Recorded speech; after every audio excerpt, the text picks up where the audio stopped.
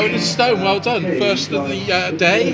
How did it go? Yeah, very well. Yeah? Yeah. Yeah, and how did, how, how did you feel with the crowd? The crowd was definitely behind you. You had a few fans there. No, You it was, did, it was great didn't support. Really helped. And it was good sound. It was really good sound. Thank you. boys. Yeah. Yeah, you were really good. I Had a bit of a nightmare there with Matt forgetting his capo, but Yeah, no, thanks so- for lending Oh, a hand. yeah. That's what I'm here for, see. I'm here that you, you borrowed mine, so there you go. Look, That's musicians, we got to stick together, you see. Okay, so So what what? was, what was the view like for you guys out there, looking out? Yeah, it was, it was good. Yeah, it was. I couldn't really see much. It was quite Yeah. dark in the back, but yeah, yeah, it's nice. Yeah. Good. And it's sunny as well, so that's, that's always good. Yeah. Okay, so what you got planned for the rest of the day then? Probably just chilling, watching the rest of the acts. Just Yeah, we, come we back get to see some of the other actors. And who are you looking forward to seeing? Um, Pavo. Landslide, Pavo. Kitten Bear. Pavo. Pavo. Pavo. That's Pavo, it, well done, yeah, Pavo. yeah, yeah. That's me, by the way, just so Yeah.